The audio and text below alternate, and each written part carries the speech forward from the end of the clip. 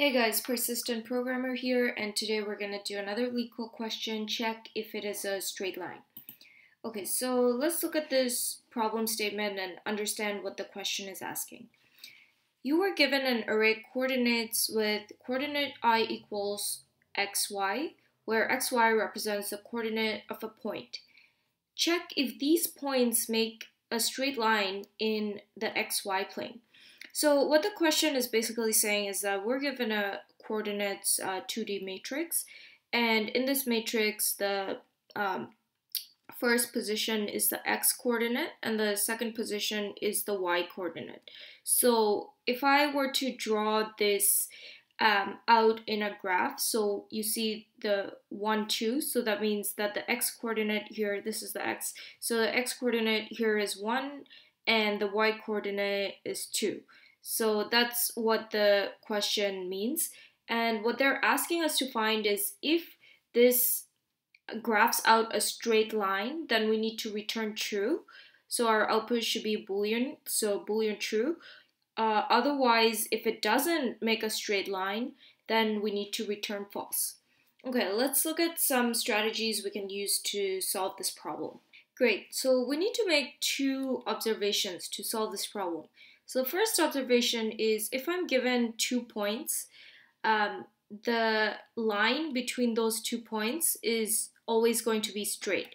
So if I'm given two points, so if I only have these two, and that's my input, I can safely say that I need to return true because um, if we draw a line between any two points, there it's always going to be a straight line.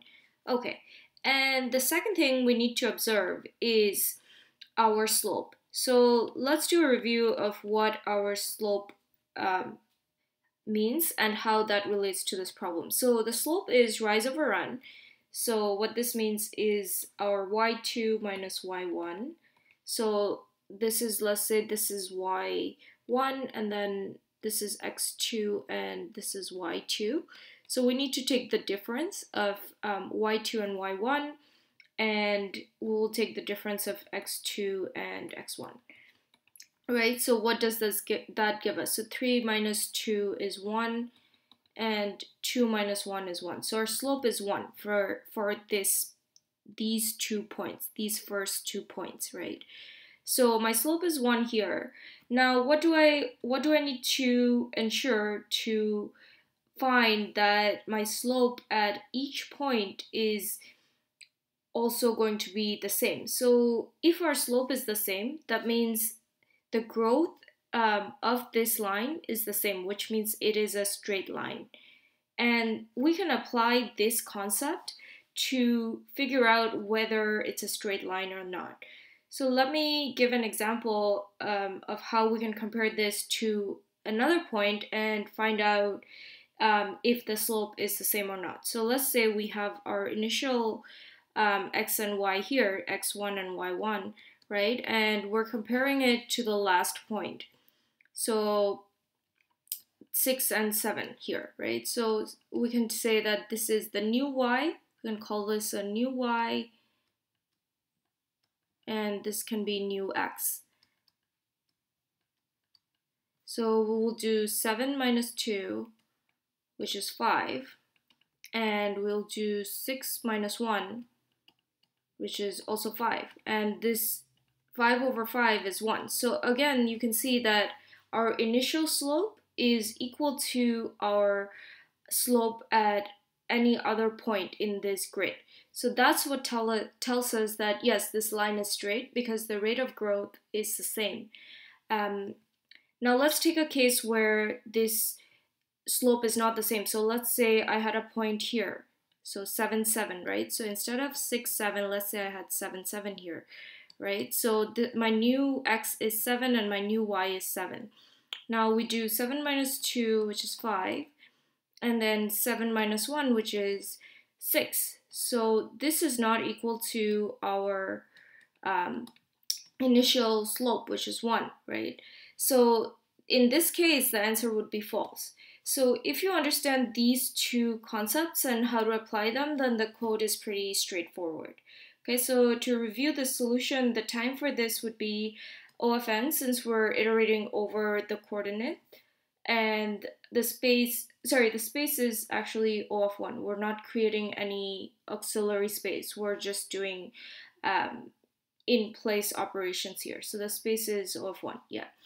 And to um, the first thing we need to do to solve this problem is to get the initial scope slope which we did so that's a 1 and um, we need to compare if the next slopes are equal to our first slope. And if that's the case, then we just return true.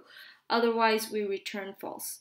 Okay, so if this makes sense, let's look at the code and I will provide two different solutions that I wrote to solve this problem. Great, so I'm back in LeetCode and I will start off with the solution I wrote first before making this a shorter solution. So the runtimes are the same, it's just a matter of organization. So the first thing I did is grabbed my first x and y and then the second x and y from the second um, row in our coordinates. So that's why this is a 1 here. Um, and then I'm just getting the rise and the run. So this is the delta y and the delta x.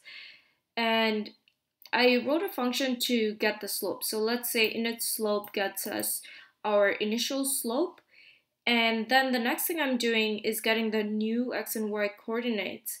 And I'm just comparing if those new coordinates are um, equal to my uh, initial slope or not. So this, so I'm getting the new slope by by plugging in the new coordinates. And what I'm doing is I'm just returning false if the initial slope slope is not equal to the new slope. So that's what is going on here. And if everything else passes, then just return true. And then this is my get slope function. And the reason I um, did this if statement is because I noticed that if you um, divide by zero, you get a runtime error because you can't divide by zero. So that's why if the run is um, zero, right? So you need to handle that case. So this is sort of a exception handling. Okay, so this is the second solution that I wrote after looking at some of the other solutions on LeetCode.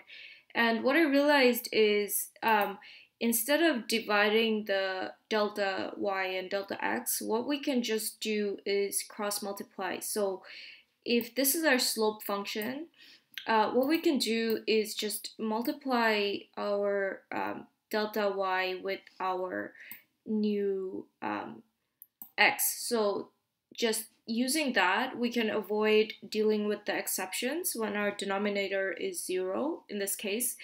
And so that's a much shorter solution and that's the second solution that I wrote for this problem. So all the other parts are the same.